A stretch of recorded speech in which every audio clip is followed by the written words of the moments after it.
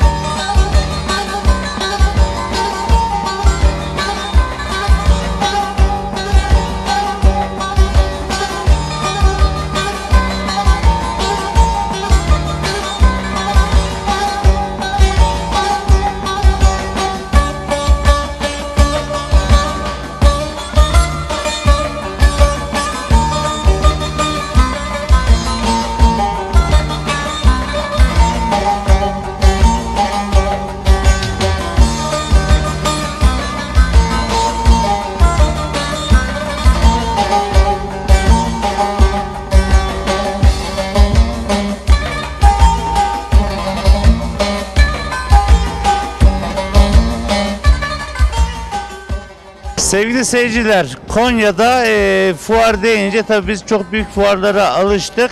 Ama Konya'da ilk fuar yetmediği için Mart ayında düzenlenen fuarda yeterli alan olmadığı için hayvancılık ve tohuma ayrı bir fuar düzenleniyor. İşte o fuar için geldik. Tabii ki burada e, iki tane hol var. E, hole girince zaten Şakiroğlu'nu görünce başka bir yerde kımıldayamıyorsunuz. Şakiroğlu Türkiye'de teknoloji üssü olarak biz kabul ediyoruz. Müthiş ürünler getirmişler. Şimdi yanımızda iş geliştirme ve pazarlama müdürü sevgili Fatma Turan var. Ee, Fatma Hanım hoş geldiniz programımıza. Merhaba, teşekkürler. Siz de hoş geldiniz standımıza. Ee, ben sizi görünce heyecana kapılıyorum. Ee, genç bir kardeşimizsin ama müthiş bir e, eğitimin var ve bu alanda kendini çok iyi geliştirmişsin ki iş geliştirmeyi de e, Mehmet abi size vermiş. E, ilk önce sizin bir görev tanımınızı bir değerlendirelim. Ondan sonra Şakir olduğunu tanımaya başlayalım. Ee, Ben e, iş geliştirme ve pazarlama müdürü olarak çalışmaktayım. Ee, İş geliştirme derken neyi kastediyoruz? Şimdi Şarkıroğlu olarak baktığımızda işte yıllardır hem çiftçilik yapan hem de bayilik yapan bir firmayız. Ee, Benden önce abimin böyle distribütörlük deneyimleri olmuş. Ama çok hani e, ileriye gid- gid- gidilmemiş. Benim şirkete başlamamla birlikte bizim bu e, Konya, Karaman, Aksaray, İç Anadolu bölgesindeki kazandığımız deneyim, tecrübe ve başarının tüm Türkiye'ye dağılması gerektiğine karar verdik. Bunu yapmak için de yurt dışında e, yeni bir dış ticaret şirketi kurduk Monagra adı altında. E, Burada Türkiye distribütörlüklerini alıp bizim Konya Karaman bölgesinde yaptığımızı ne yapıyoruz? E, Traktörün yanında ekipman ve sulama ürünlerini de veriyoruz. Diğer bayilere de bu sistemi yaymak için aslında hani kurulmuş bir şirket. Yurt dışından getirip direkt burada e, Türkiye'de satışını yapıyoruz. Ben hem buna bakıyorum. E, hem aynı zamanda zaten çalışmakta olduğumuz firmalarla ilgili daha fazla ne yapabiliriz? Hangi ürünleri getirebiliriz? E, onlara bakıyorum. İşte yılın böyle birçok zamanı tüm yurt dışı fuarlarını geziyorum, toplantılara gidiyorum, tarla günlerine gidiyorum. Bir yerde hani böyle şey keşif gibi. Yurt dışında olanları keşfedip buraya Türkiye'ye getirmeye çalışıyorum. O yüzden iş geliştirme. Pazarlama adı altında da işte e, bildiğimiz marketing e, için olanları yapıyorum. Bu şekilde. E, tabi burada marketing e, son derece profesyonel yapılması gereken bir iş. E, sizin e, firmanızda e, şu anda faaliyet gösterdiğiniz firmaya gelince insanlar zaten ben geldiğimde içim açıldı. E, mükemmel bir yer yapmışsınız. Ama orada ben e, dikkatimi şu çekti. Hangi çiftçi gelirse gelsin müthiş bir ilgiyle karşılanıyor. Sanki e, 1 milyon liralık alışveriş yapacakmış gibi karşılanıyor. E, halkla ilişkiler için eğitim veriyor musunuz personele? Ee, Personelimizin hepsi dönem dönem eğitimlere gidiyor. Bu aslında biraz da çalışmakta olduğumuz John Deere firması tarafından yapılıyor. Ee, John Deere'in hani sadece böyle ürün eğitimi değil, kişisel gelişim eğitimleri oluyor. İşte e, satıştan olsun, servisten olsun tüm arkadaşlar bu eğitimlere gidiyorlar. Oradan e, hani e, satış eğitimi, insan ilişkileri yönetimi bu şekilde eğitimler alıyorlar dönem dönem. Yani burada e, hatta şu konuşulmuştu. E, buraya e, ister traktör alsın ister bir ekipman alsın e, bir otomobil almaya giden bir insan nasıl konforla karşılanıyor biz de aynı konforu çiftçimize veriyoruz çünkü çiftçi en iyisine layık demiştiniz. E, bu konforu bulabiliyor mu çiftçiler? Ee, bulduklarını düşünüyorum. Şöyle hani e, daha önceki konuşmalarımızda da geçmişti bahsettiğiniz gibi. Hani e, bu hani çiftçinin e, hor görülmesi mi dememiz lazım? Hani böyle gereken hak ettikleri hak ettikleri e, ilgiyi, değeri görmüyorlar maalesef. Biz de hani aile olarak bunu hani zaten çiftçilik de yapan bir aile olarak hani buna şey hani çiftçi aslında daha iyisini bile hak ediyor. Baktığınızda hani işte bir otomobil almaya gittiğinizde çok güzel bir showroom'da gayet öyle ferah nezih bir ortamda gidiyorsunuz. Bekleme salonunuz var. Çayınızı, kahvenizi, yemeğinizi içiyorsunuz. Orada işte e, çeşitli sosyal alanlar var. Ama e, tarıma geldiğiniz zaman daha böyle hani köhne yerlerde daha işte bir masa, iki sandalye şeklinde çiftçilerimize hizmet veriyor. Biz buna karşıyız. Bize sorarsanız çiftçimiz daha iyisini hak ediyor. Ki hani e, şeye bakarsanız hani bu otomobilde tabii ticari de var ama daha çok hani e, bireysel olan bir şey ama e, tarımda traktöre baktığınızda bir aslında işletmelere hizmet ediyorsunuz. Çiftçilik de sonuçta hani bir e, kendi başına bir işletme.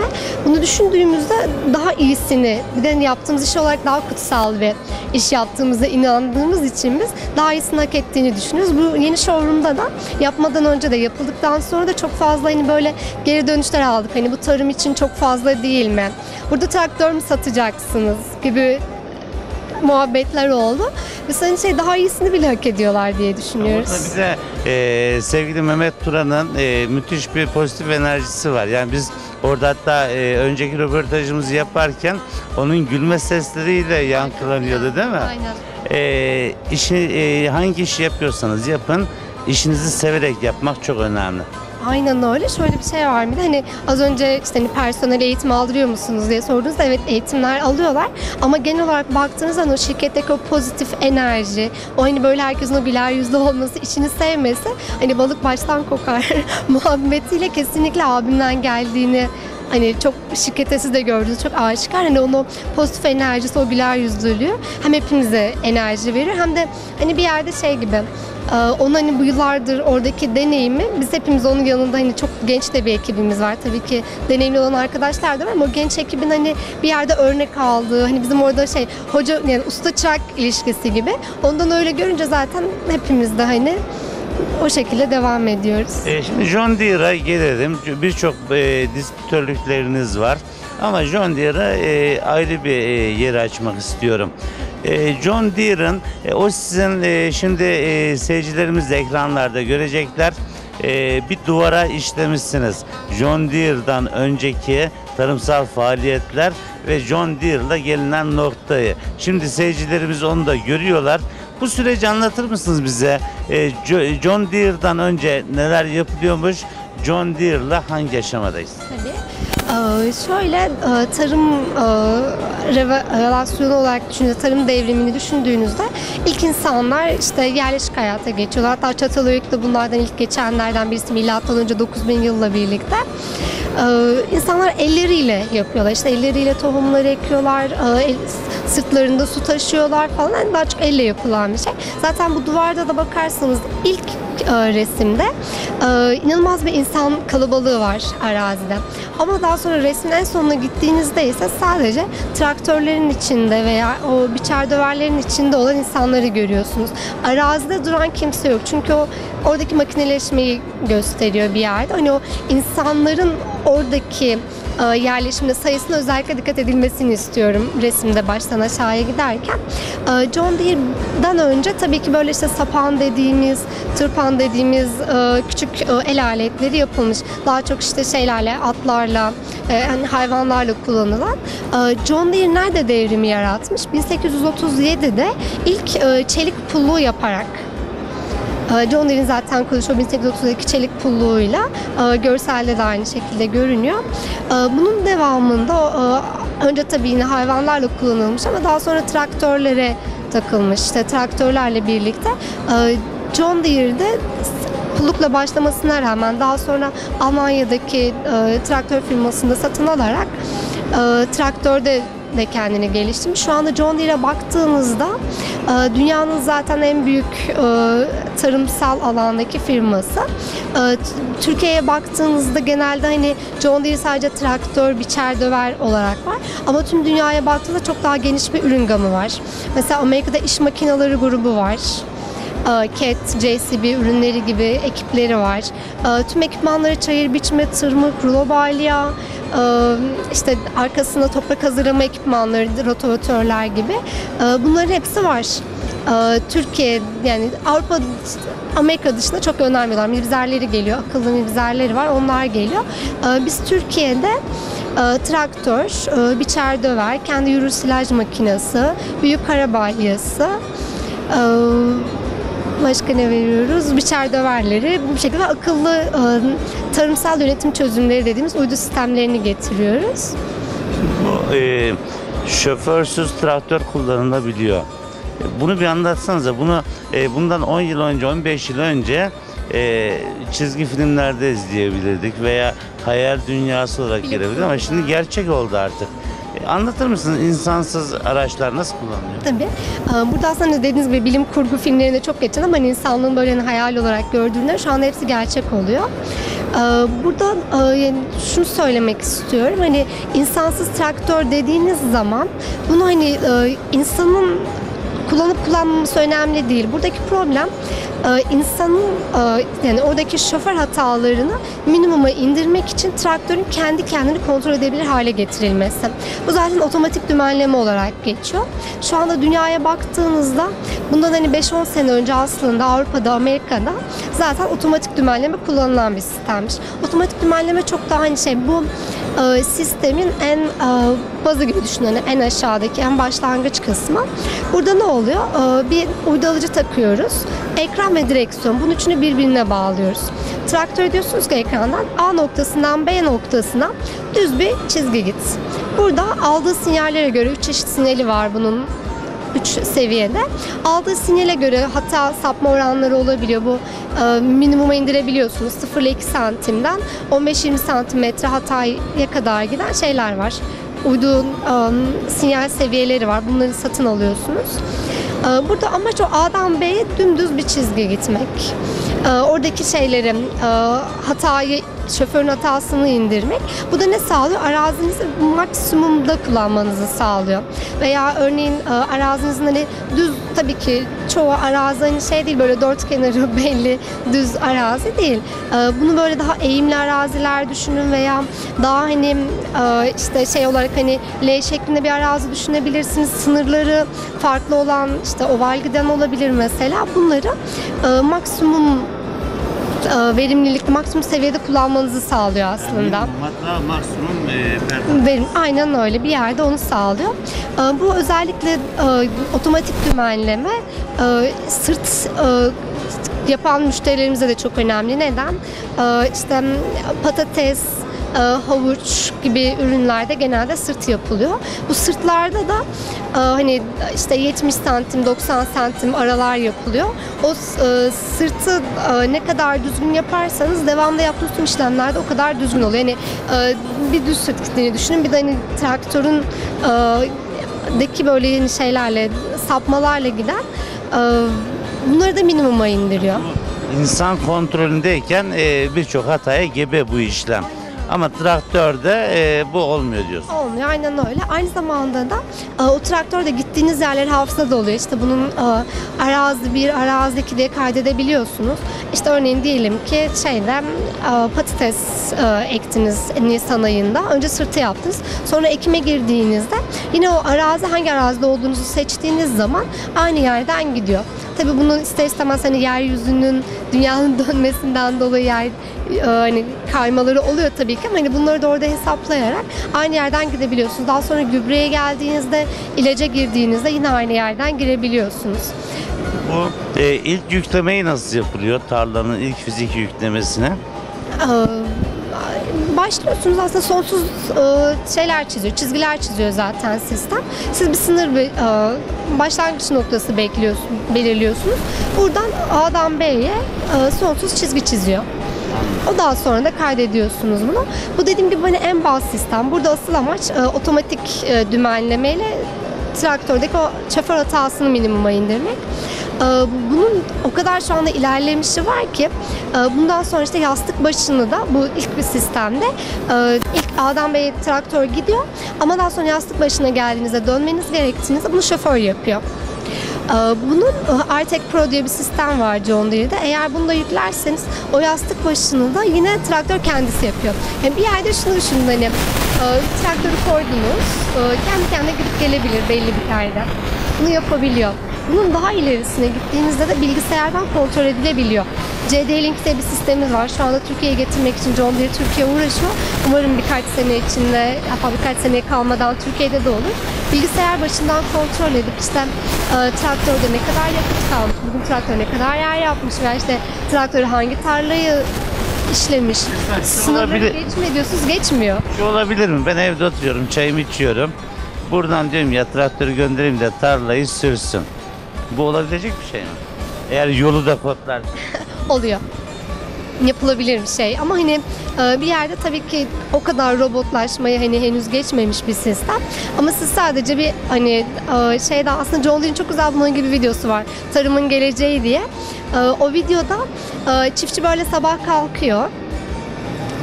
İşte kahvesini hatta şöyle oluyor. Kahvesi makinesi bile orada otomatik yani sa- saat 6 olduğunda otomatik kahve makinesi çalışmaya başlıyor kahvesini yapıyor. Çiftçi gidiyor kahvesini alıyor. Eğer imkanımız olursa hani burada göstermeye çok güzel etkileyici bir video. Daha sonra bilgisayarını açıyor. Bilgisayardan hava durumuna bakıyor. Daha sonra Ee, İngilizce mi? Ee, şu anda İngilizce ama şey alt Türkçe alt yazısı da var. Çok zaten e, şey değil hani e, çok alt yazıya şey ses çok yok hani daha çok görsel. O zaman şöyle yapalım şimdi. Ee, sevgili seyirciler, işte e, sevgili Fatma kardeşimizin anlattığı videoyu anlatarak değil, görerek e, karar verelim. John Deere'ın hazırlamış olduğu bu kısa videoyu izleyelim. İzledikten sonra programımız kaldığı yerden devam edecek.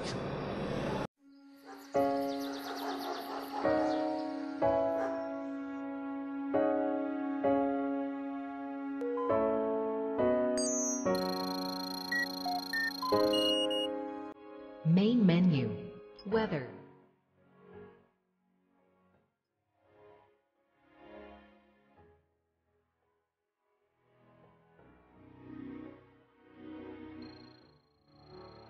Welcome to John Deere Farm Site. Field order. Please prioritize.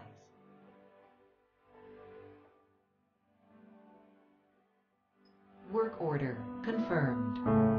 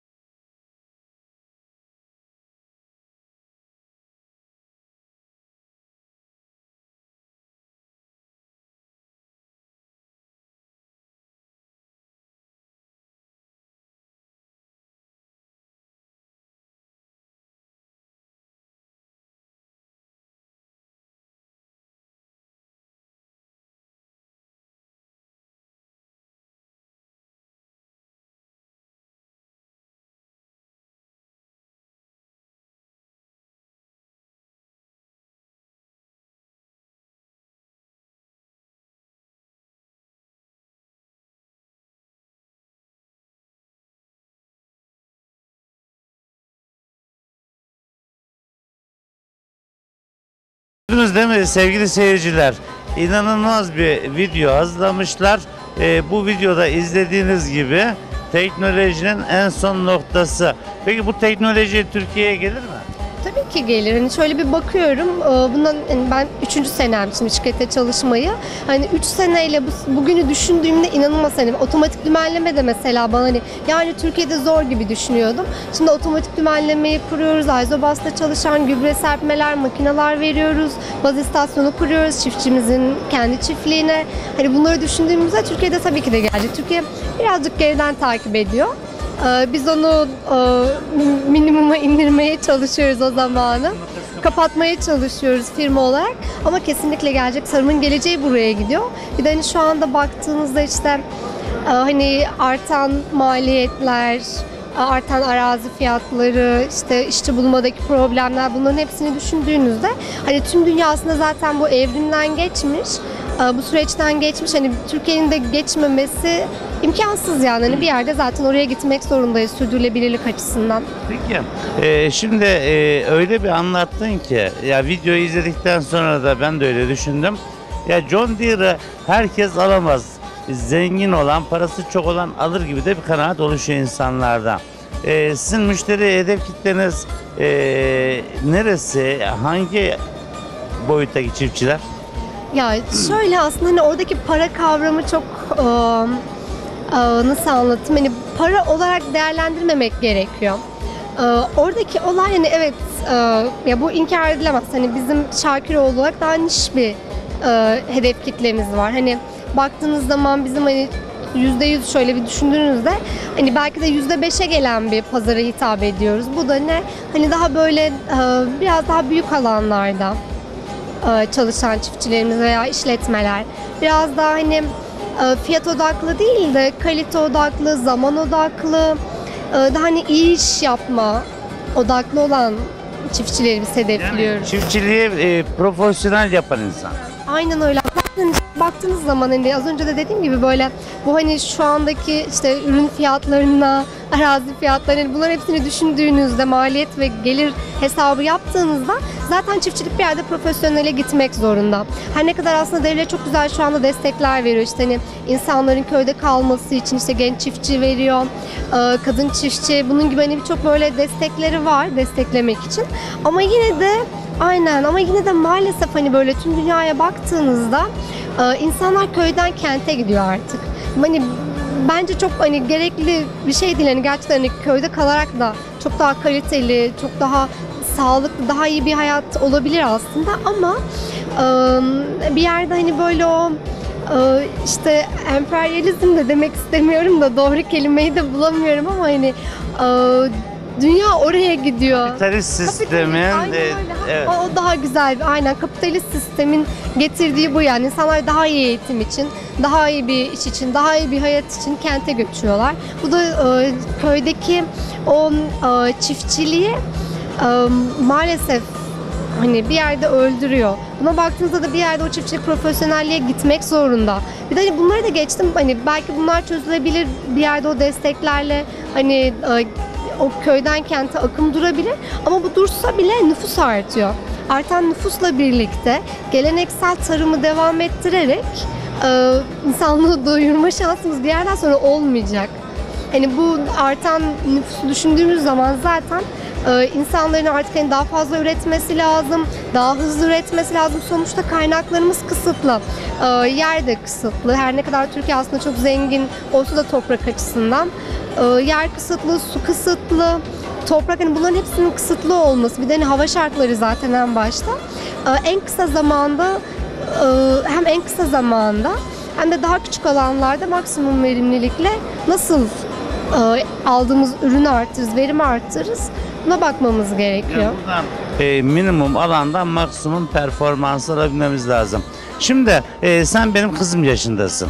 E, ben 50 yaşındayım. Artık senin yaşını söylemeyeyim. Hanımlar hassastırlar ya. Ama benim çocuğum yaşındasın.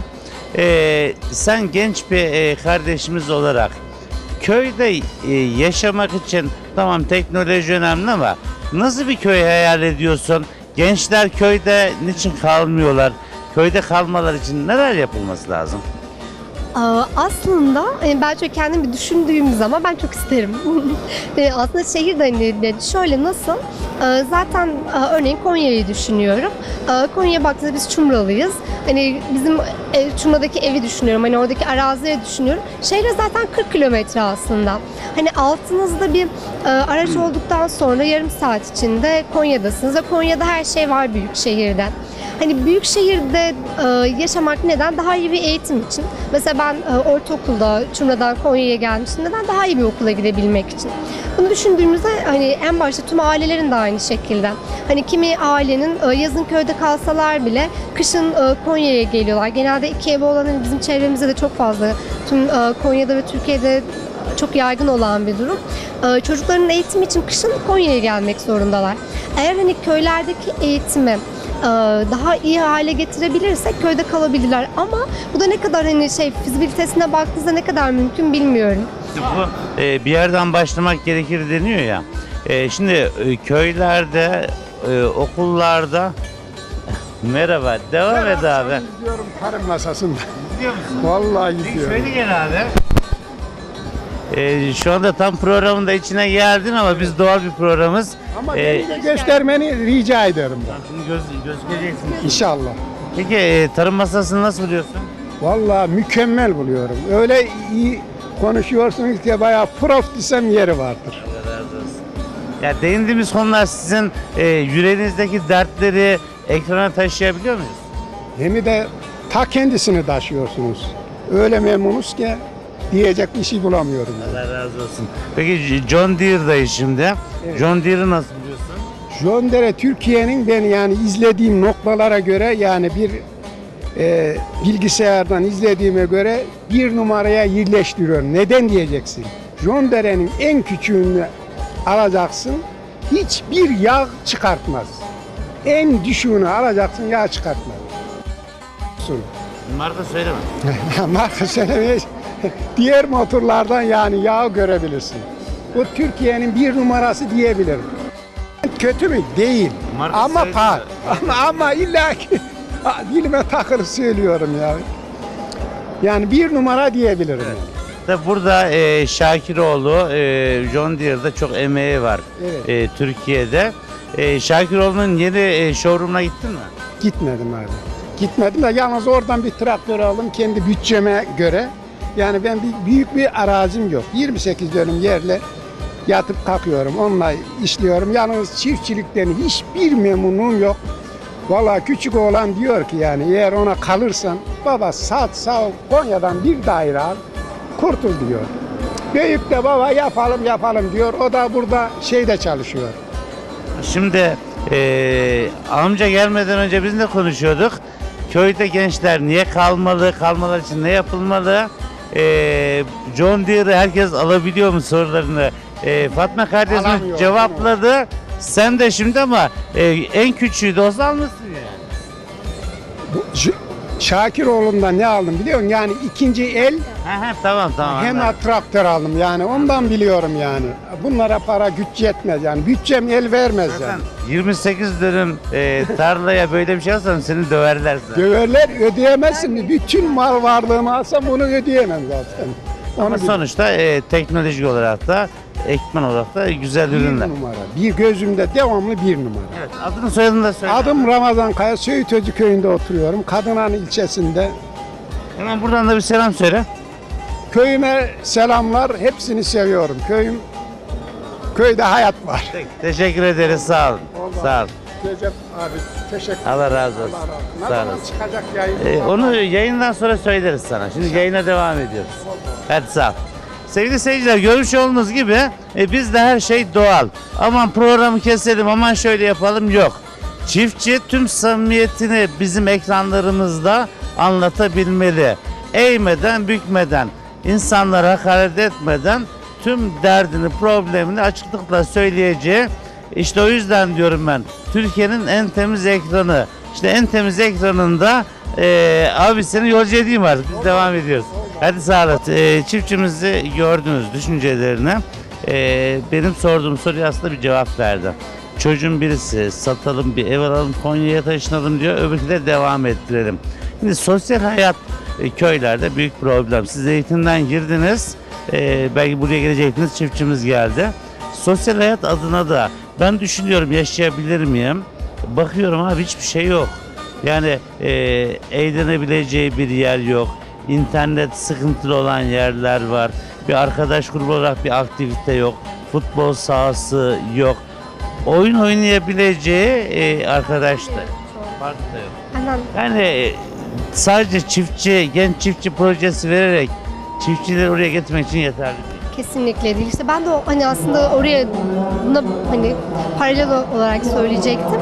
Hani eğitim, sosyal alan bunların hepsinin geliştirilmesi gerekiyor ki insanlar hani köyde kalsınlar. Diğer türlü hani şu anda da buna işte bir yerde adım atıyorlar bu şekilde projelerle ama e, bu hani bu aşamada giderse e, çok hani uzun yıllar alır belki alır almaz belki biz görürüz bilmiyorum. Ee, Ama şu andaki gidişata göre e, çiftçiliğin profesyonel işletmelere gitmesinden başka bir çare yok gibi görünüyor. Burada da e, aile işletmeleri yani böyle iki tane ineği olan işte abinin söylediği gibi 28 dönüm 20 dönüm e, toprağında e, üretim yapan insanlar da bu ülkeye lazım. E, o, o küçücük alanda e, çocuklarının kışlık ihtiyaçlarını karşılayan onların ekonomisine destek olan da bir e, kalabalık bir çoğunluk var. Yani devlet herkesi kucaklamak zorunda. Profesyonel çiftçilik çok önemli ama her şeyi profesyonel düşünürsek e, çok ciddi bir insan sayısı da açığa çıkmış. Hani keşke hani herkes e, işte dediğimiz imkanlar sağlansa keşke herkes köylerde kalsa bu şekilde devam etse e, çok çok daha iyi. Ama işte hani o e, şu andaki bu hani gerçek hayatı böyle düşündüğümde bunun her geçen gün daha da zorlaştığını. Aynen bakın 28 dönüm ektiğini söylüyor ve hiç memnun değilim diyor çiftçilikten. Niye memnun değil? Maliyetler her geçen gün artıyor. Maliyetlerin bu kadar yüksek olduğu, ürün fiyatlarının e, hani paralel ölçüde artmadığı sürece tabii ki memnun olmaz. Hani memnun olup işi büyütme gibi bir hani para kazansın, daha büyütsün, daha bir şeyler yapsın, o çocukların iki çocuğuna daha iyi bir hayat sunabilsin. Hani buna gitmediği sürece abi tabii ki memnun olmayacaktır. E mesela Yunanistan'da bu ekonomik krizden sonra insanlar köylerine dönmüşler. E, orada bir şeyler üretip satabilmek için. Allah bize tabii o durumlara düşürmesin. E, tekrar biz e, John Deere'a girelim. John Deere'ın de, e, traktörlerinde kaç beygirden kaç beygire kadar traktör bulabiliyoruz sizden? Ee, Biz de e, yani tabii ki hani 500 küsur beygire kadar biz getirebiliyoruz Amerika'dan ama paletli sisteme giriyor onlar. Ee, Biz 50 beygirden 420 beygire kadar şu anda Türkiye'de hizmet ediyoruz. Var da 50 beygirden 420 beygire kadar aynı e, çiftlikte kullanan çiftçilerimiz var hatta. Geçtiğimiz e, yıl teslim ettiğimiz beygirle. Ee, Bu şekilde şey olarak e, Meksika'dan, Hindistan'dan, Amerika'dan ve Almanya'dan geliyor traktörler. Biz daha çok Alman traktör ağırlıklı çalışıyoruz. Ee, Burada da işte Teknolojik farklılık var mı? e, var. Mesela Almanlar tam çelik şase. Ee, Daha sağlam, daha hani farklı. Bizim de en çok oyunda sattığımız ürün zaten o. Peki Türkiye'de fabrika kurmayı düşünüyor mu John Deere? Şöyle bu hafta abim Amerika'ya gidiyor. Ee, John Deere CEO'su Sam Allen'la birlikte e, John Deere'in ana merkezinde bir toplantı var. Ee, Bakalım o toplantıdan ne çıkacak? İnşallah. Şu anda biz de beklemedeyiz. Benim hissiyatım kuvvetlidir. İnşallah. Ben dediysem kesin bir şey vardır. Sevgili seyirciler bu kaydı altına alalım. Bugün ayın kaçı? 8'i mi? 8 Eylül 2017. John Deere Türkiye'ye fabrika açacak mı diye sordum. Ee, yarın e, Şakiroğlu'nun genel müdürü sevgili Mehmet Turan e, Amerika'ya gidiyor. E, fabrika açabilirler. Ben bugün kayıt altına alayım. E, böylece de 6. isim e, kayıt altına alınmış olsun. Peki John Deere'ın başka neleri var? Ee, John Deere'in işte kendi yürü silaj makinelerini veriyoruz. Şu anda e, Konya'da çalışan e, silaj makineleri var. Kendi yürüyor. E, Onun dışında büyük arabalyası var arkamızda da göreceğiniz gibi. Bunu hayvancılık konsepti olduğu için getirdik. E, Şu anda da sanırım tüm fuarın en kapsamlı, en yüksek teknolojisine sahip hem bizim standımızın hem de tüm fuarın e, makinesi. E, Büyük arabalya yapıyor. Yaklaşık 500 kiloya kadar e, balya basıyor. Ee, Bu var. Ee, Bu iki senedir getiriyoruz. Biçer döverleri var. Mısır, ayçiçek, e, buğdayda kullandıkları. Onun dışında e, bu şekilde John Deere olarak. Diğer e, firmalara da geçelim. Başka hangi distribütörlükler var? Biz de isterseniz şey Şarkıroğlu olarak hani bölgeselden devam edersek JCB İngiliz firmasının işte yine burada gördüğünüz yükleyicileri, telandırları, kazıcıları onlar için e, İç Anadolu bölgesine yine hizmet ediyoruz. E, Hem satışını hem servisini yapıyoruz bu arada JCB'nin de. Normalde hani e, JCB e, Sif Holding İstanbul'dan distribütörü genel olarak satış ve servis ağına ayırmış durumda. Ama e, bizim şirket istisnai olarak hem satışını hem servisini yapıyor. E, Kverneland Norveçli bir firmamız var. Bunda Türkiye distribütörlüğünü yapıyoruz. O da 1800'lülerde kurulmuş. E, çok eski, çok dünyanın en iyi ekipman firmalarından birisi. E, Burada da e, büyük kara balya dışında aklınıza gelebilecek o traktörün arkasına takılan hemen hemen tüm ekipmanları yapıyorlar. E, İşte ot grubundan başlıyor çayı biçme tırmık yine burada fuarda var. Hayvancılık yapan çiftçilerimiz için getirdik. E, Çay biçmesinden, tırmığından, e, rulo balyasına, ee, işte şey e, toprak hazırlamada pulluk, rotovatörler, işlemede mibzer, Almanya'da üretiliyor, Hollanda'da ilaçlama ve gübre serpme üretiliyor. Ee, Bu şekilde hemen hemen tüm ürün grubu var. Ee, Daha sonra Gaspardo var. Ee, İtalyan firma Maschio Gaspardo. Onların da e, Konya Karaman bölgesine bayiliğini yapıyoruz. İzmir ofisine bağlıyız burada. Grimme Alman firmasının dünyanın patates lideri. Patates için toprak hazırlamadan, işte e, ekimine, e, toprak için işte çapa makinesinden tutun da diğer e, sırt yapmasına, e, hasat makinesine, e, depolamasına kadar her ürün grubu var. E, Grimme de aslında bu konu çok önemli bir firma. Tüm dünyada %60'ın üstünde patates sektöründe pazar payı var. Amerika'da, Almanya'da fabrikaları var. Aslında bu, bu sene de şimdi şey, önümüzdeki hafta ben de Almanya'ya gidiyorum. Or- Oradan bir fabrikada yeni ürünleri çıktı. Onları göreceğiz. Oradan Hollanda'ya geçeceğiz. Patates Avrupa fuarı var. Ee, ve Kasım ayında da Arka Teknik Almanya'daki fuarda çok büyük yeniliklerle geliyor. Ee, böyle şu anda hani şeyden e, sosyal medyadan takip ediyoruz. Çok böyle büyük haberlerle gelecekler gibi görünüyor. Ee, Patatesle ilgili aslında Türkiye'de çok e, büyük gelişmeler var. Hani konu değinmişken belki onu da söyleyebilirim. Ee, Şu anda hasat makinesi çalışan traktör, e, çekil hasat makinesinin e, sayısı her geçen gün artıyor. Ee, Biz her işte üçüncü senemiz şu anda Greenway ile. Ee, Her sene işte 5-6 tane satılan bir hasat makinesi. Biz bu sene onun üstünde sattık ikinci el stoğumuzla birlikte. Önümüzdeki sene içinde siparişlerimizi şimdiden verdik. 20 tane hasat makinesi getiriyoruz. Bunun 5'i e, siyah havuç hasat makinesi, 15 de patates hasat makinesi. E, bu, bu da hani bu patates hasat makinelerinin her geçen gün artması çok sevindirici bir durum ülkemiz için. Hatta belki şey anlatabilirim Recep abi. Ee, geçtiğimiz günlerde işte bayramdan önce e, Atakey, Ata Holding burada Tigem'de patates e, tohumluğunu üretiyor. Ee, Biz de işte onların tedarikçisiyiz. Hem e, işte yakıtlarını, traktörlerini, ekipmanlarını hepsinin servisini bizden alıyorlar. Ben de onları da hasat için ilk gün ziyarete gittim. Tigem'de de tabii araziler büyük böyle çok güzel.